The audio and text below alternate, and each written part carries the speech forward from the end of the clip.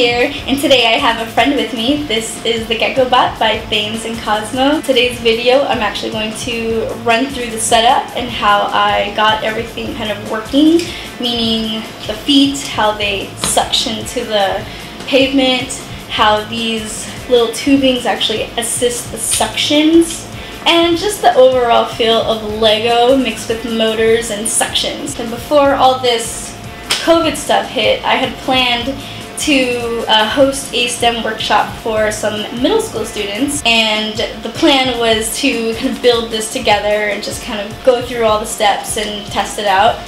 But since schools are currently closed and there's no after school um, activities, I decided just to build it myself and see what we're getting into. I'm to launch it for you now. Let's see it move.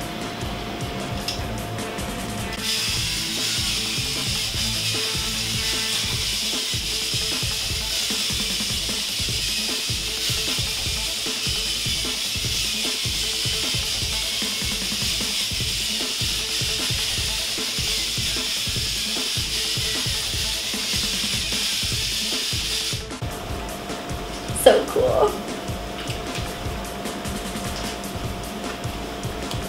Alright, let's get into the video.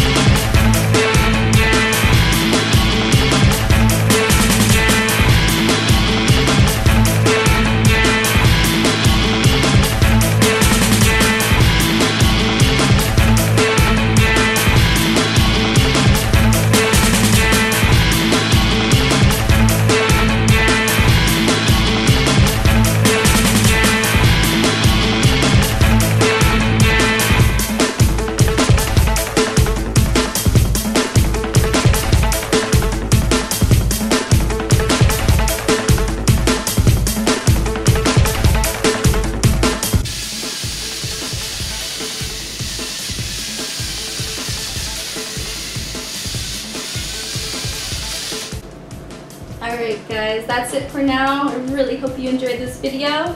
And stay tuned for more projects because I have a bunch of STEM stuff um, on deck. So I'll see you in the next video.